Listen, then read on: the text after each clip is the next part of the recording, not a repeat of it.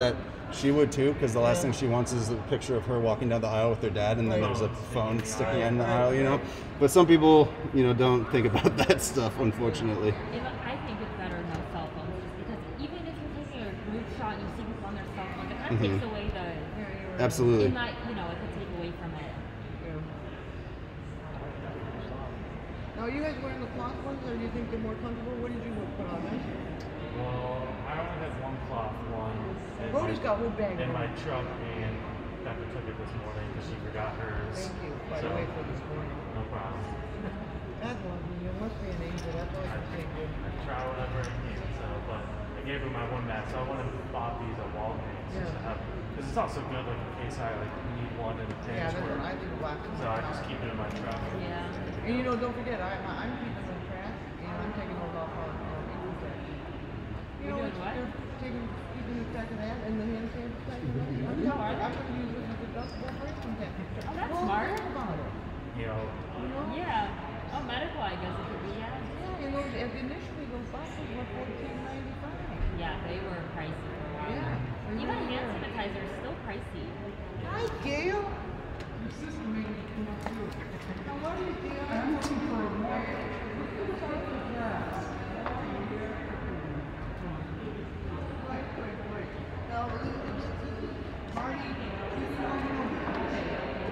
If, um, in, uh, the Mexican cities, you were here about three years ago, you were having lunch, and I said, the Chipotle's, see that? Oh, you got a good hair.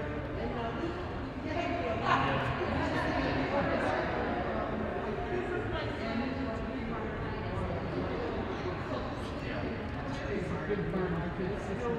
I'm, I'm, um, still big, but she told me to sit up here, but I'm not sitting on a baby bottle. Here, your, your sister gave me instructions. She said, Maybe we're gonna be passing around packed anyhow. Patty's, Patty's, Come I on, can, I can go back. come on, Jim, get here. No, Patty's, Patty gave me There's strict plenty of instructions No, that no, you're family has to fine. sit Come on, you come here. Well, Bree's coming up here too. Oh, Bree, the baby. Well, when I'll sit one so you can sit there. I'll We'll fit, we'll fit. Get over here, Jim, sit down. Come on. If we have to squeeze, we squeeze. Oh, is, blue mean no? No, this is COVID season. And then I can go keep it. Squeeze up there now. Probably. I don't think anything there. Do you think there's a piece of, he's gonna be talking from over there, you think? Yeah, I, I don't think there. It's good there's enough space up there.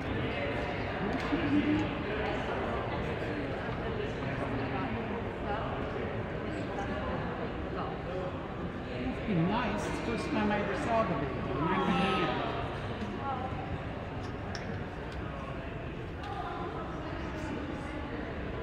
Well, you're licensed.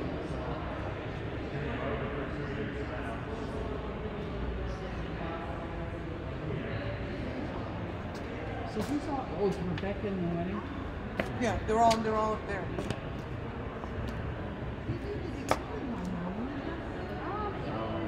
Oh, it's one twenty-nine.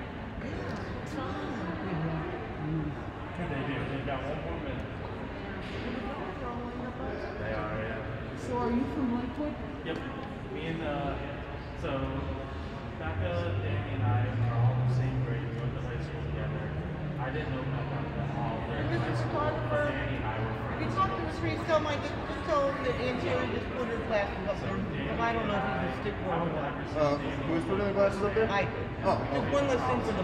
bow and all that he went on with yesterday. And then I would hang out with them in high school. And even though I hung out with them, I had no clue who Becca was until like, school.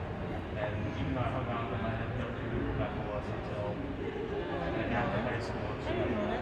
And Danny and I were friends, but I didn't know Becca at all in high school. And then until I don't think we ever talked until about a year ago when she reached out to me. So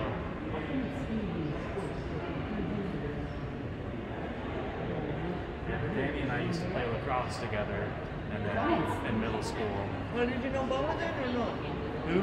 The youngest one, the Oh no, I, I didn't know him either. Like or I, I knew of him. Like I knew Danny. I I knew of Rebecca and I knew Danny had another um, like brother Marty, but I just Danny was the only one I knew in high school. I Lakewood was big enough that don't. you get lost in it. Oh my God, Christine. That's why, it, you Put know, yourself down here. Come on. I thought I should be You're gonna be fine, dress. sweetheart. You'll be fine. Jim's gonna be fine. We're all gonna. I remember I going. could sit one row back. I'll be right there. I just don't feel like there's. I, I wanna don't think there's enough room. I don't think so. I, Yeah, I- I'll sit with you, but we can't sit here because No, no, we can sit in the corner What's the point? there. Every, you know, I can't stand being squished. Yeah. Besides, I'll, I can I can sit back here and ask a personal question. Oh, I'm not, I'm not, I'm not a small person either, so I don't like to squish other people. So Excuse me, he already blew it. What? He said he's not a small person either. Oh, Oh, oh, oh, I didn't say that. You did. I did not mean to In like my that. book, It was not meant. I think he was talking to me. It's okay. they're all coming now. You're all coming. You just, you just upstairs. It was nothing was meant for other people other than me. she's saving. She is. She has multiple times, but I didn't. I was not even thinking about it. I was only thinking about me. I'm, I work. I still work full time. Mm, yeah. Sixty-seven. I work in Silver, Southwest. I'm the oldest girl there, and I get. If I drop something, someone like you reach, well, oh, I can get it. I can bend over. You're like, I'm still good. I can bend over. Yeah. And one day I was leaving and I was going to the garage and they had these volunteer guys driving golf carts. Yeah. And this old man stops and goes, Can you ride? Yeah. Oh, I'm. I'm alright. And then he's following me along. He goes, I wish someone would he offer goes, me he goes, you sure you don't need a ride? And I'm like, oh, this is like high school. The guys used to pick you up after. Yeah. And I go, no. And, and, and then he says, okay. And I go, look, how do you think I keep my figure? And I turn around, the president, the, or How's the CEO lipstick? of the Still hospital. Still goes, good. I think you're gonna be fine. Oh, you're gonna- You excited? Yeah, they're coming now. Okay. You guys sit down. I'm gonna go one way. Just need to change. How do you guys just sit here anyway? Because of He's the got his computer and But everything if we're else. sitting next to each other. Well, exactly. We're saying I know. We're always, we're, yeah, it's the mask. but When you think about it, there's always well, you guys should get closer to the aisle. Yeah, we should, because how Yeah, we you can because then you can see the bride and groom. Yeah.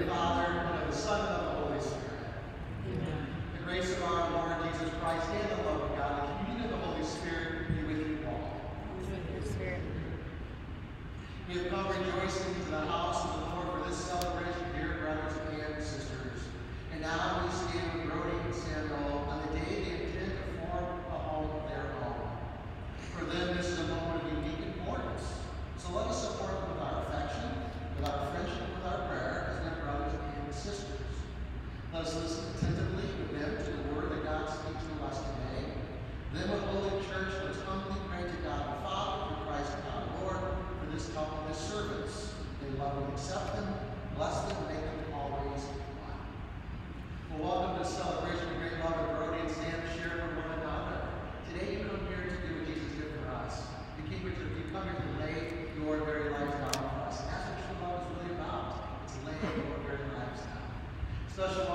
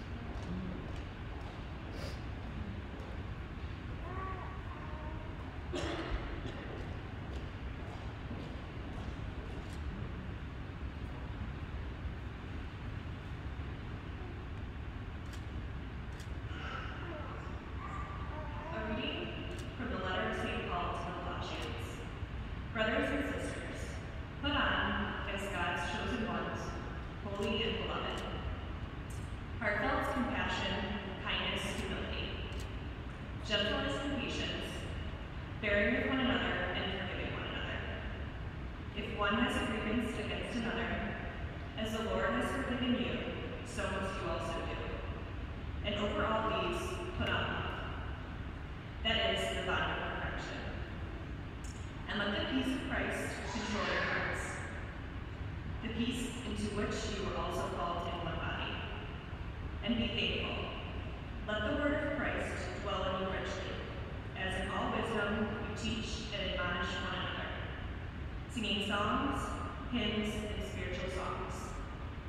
And whatever you do, in word or in deed, do everything in the name of the Lord Jesus, giving thanks to God the Father through. The word of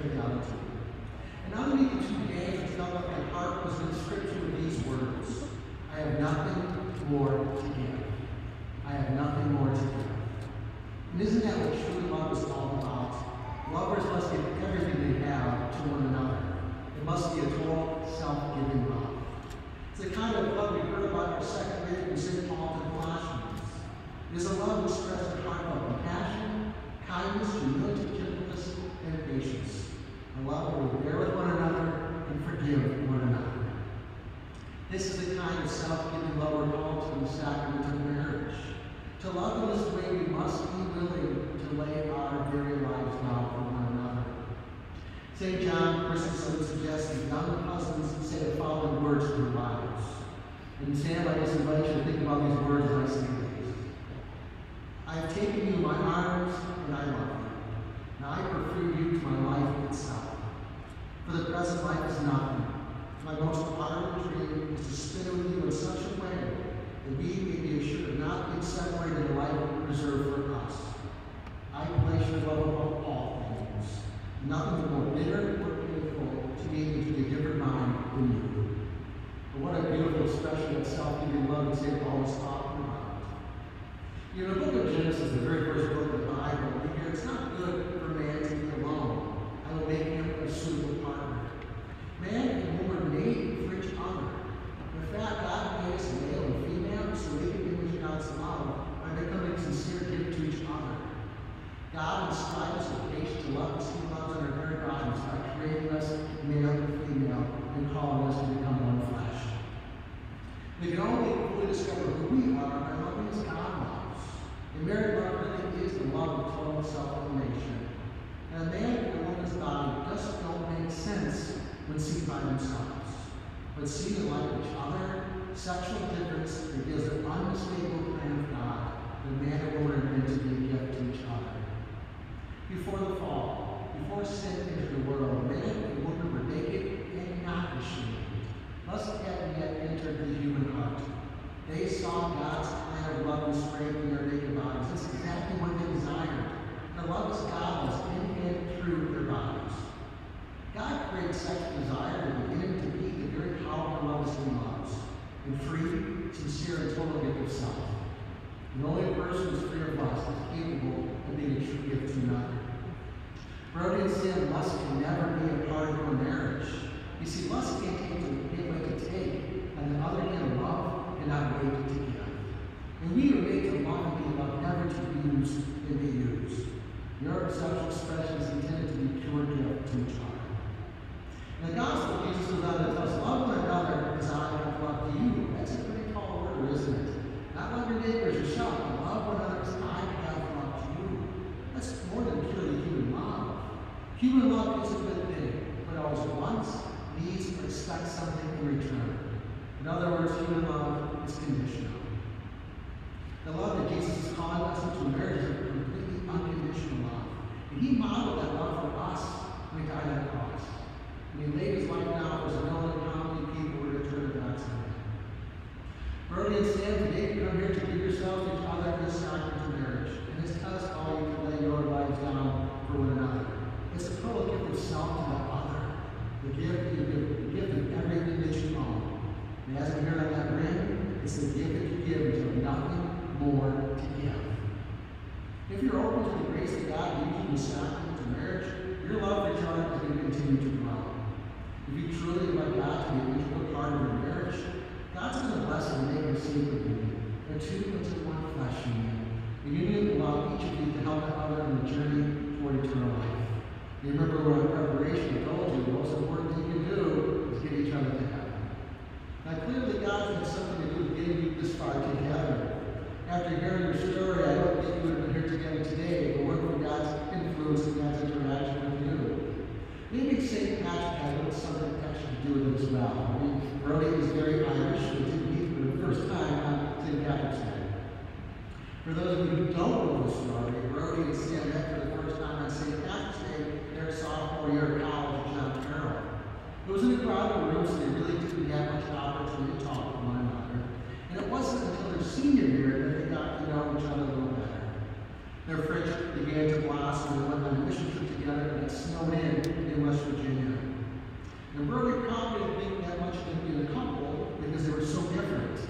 For those of you who know Brodie, she's a little bit particular, a little organized. Sam is a little more laid back, I think. I think Brodie said that he would come to the meetings and Brodie would have you know, a notebook and all these notes, and Sam would come late with his jams. Well, you know, opposites attract, right? That's a good thing. And maybe a little sugarly on Sam's part about that too, right? As Sam described it on that mission trip he saved her from sliding down an icy hill. Brodie saw it a little differently and still claims it was probably a treacherous mountainside. Now, Sam, I would take Brodie's because he wouldn't look like a hero that way anyway, so it's a treacherous mountainside. But you know, the relationship even then was still slow to develop. One had to wonder was actually going to go somewhere. And it wasn't until after graduation that Sam either started to or got the courage to tell Brodie he liked her. And he invited her on what Brodie thought was a date. Of course, they went to a movie and Sam had to pay for her own ticket and her own popcorn. Sam, you're pretty lucky she you another chance to redeem yourself. Brodie and Sam, you told me these last five years have been the greatest time of your life, the best time of your life. If you live the kind of love God's calling you through marriage, it's only going to get better as you go along. I pray that in a journey where God's always the center of your marriage, He's always present, permeates every moment. Because God doesn't just want you to make it to heaven. God wants you to live this life in peace, in joy, and happiness. If you lay our lives down for each other the way that Jesus laid his life down for us, your marriage is just going to survive. It is absolutely going to thrive. May the will of God meet you. May the wind be always at your back. May the sun shine more on your face. The rains fall soft upon your fields. And to meet again, may God hold you in the hollow of his hand.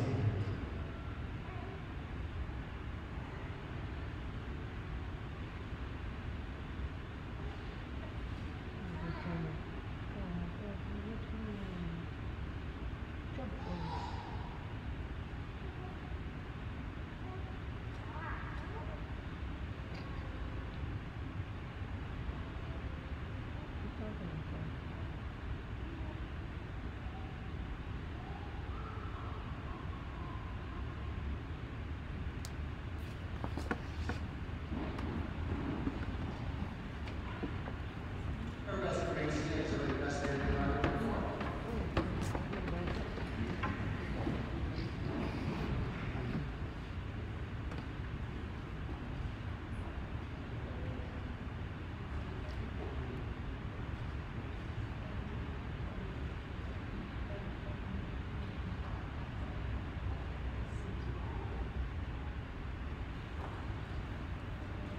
Dearly beloved, you have come together to the house of the church, that in the presence of the church's minister of the community, your attention to your marriage may be strengthened by the Lord of the sacred seal. Christ our covenant and bless the love of my children. There is special sacrament that enriches and strengthens those who are already consecrated by holy baptism, that they may be faithful to each other forever, and assume all responsibilities of their life. And so in the presence of the church, I ask you to state your intentions.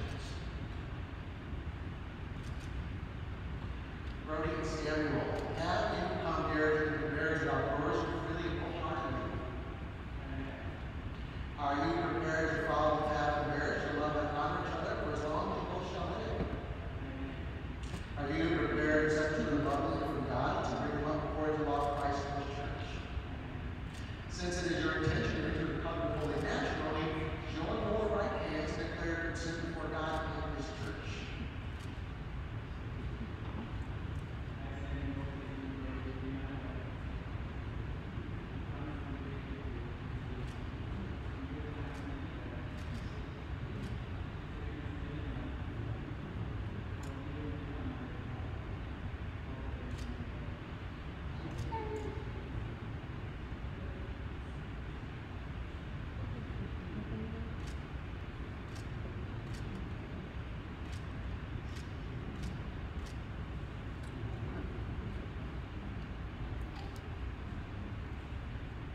May the Lord is kind, and his kind and strength and sin declared before the church, and graciously bring the fulfillment blessed to thee. But God joins us together in no one put asunder. Let us bless the Lord. Thanks be to God.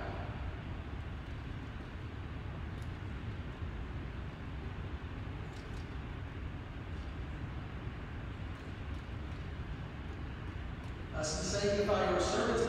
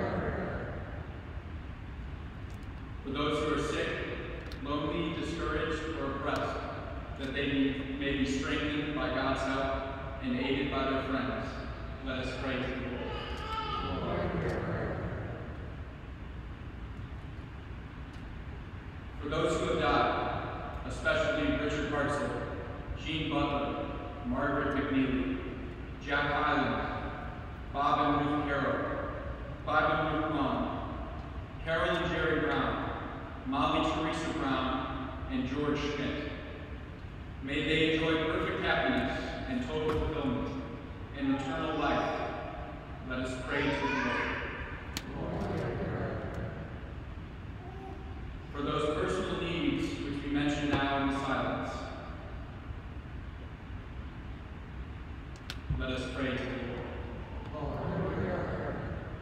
Gracious and God, God's husband and wife, the Lord, is of your love, to make them one heart and one soul, so that nothing would ever be divided those who have joined, and no harm come to those who have filled with your blessing.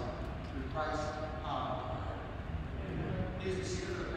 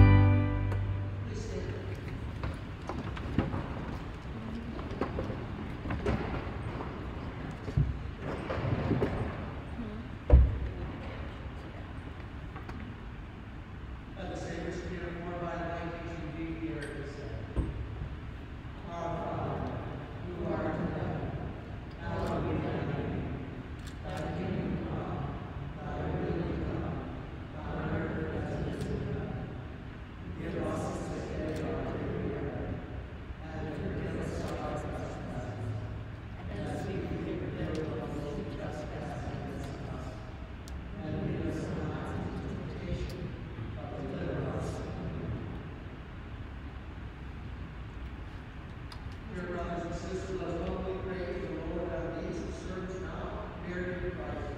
May worship